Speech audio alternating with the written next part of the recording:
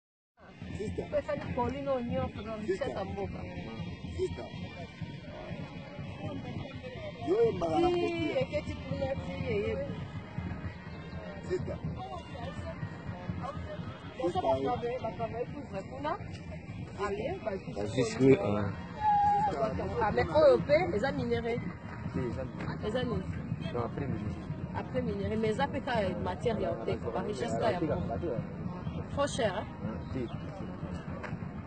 nafunga bakotumaani kuna abengaandeko moko babenga komboka bapesa en tout cas bandimi na ngai ya cleboa Kombo ya Monbonda Jecamine euta awa dans eza entreprise ya monene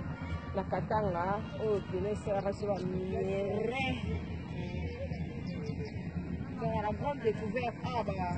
ezalaka mwa mpasi mais biso tofofile kaka na ndenge ya misika fourmi club owa bomona niveau congo ya na richesse na bango bakatanga katanga donc euh,